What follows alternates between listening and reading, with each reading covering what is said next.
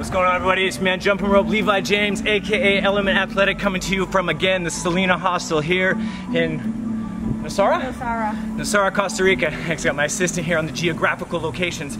Taking a bit of a break from the jump rope step, doing a little bit of kettlebell in the blazing hot heat. I tell you it's gotta be at least like 38 degrees. I'm sweating, my sweat is sweating.